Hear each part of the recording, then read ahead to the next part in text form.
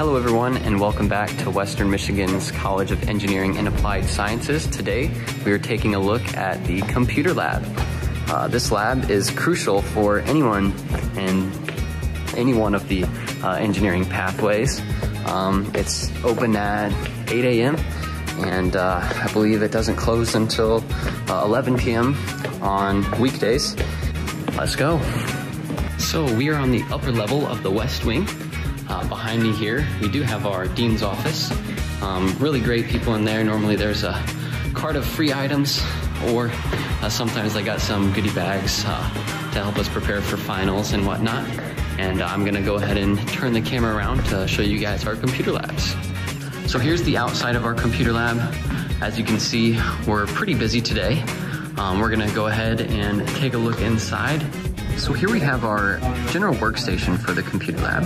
Uh, as you can see, there are two monitors. It's really beneficial for whenever you're working on a paper.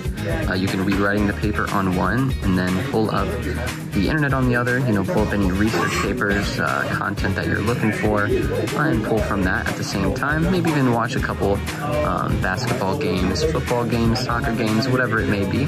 You'll see here We've got the CAE monitor.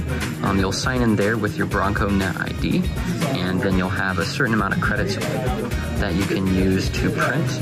And we do have two printers.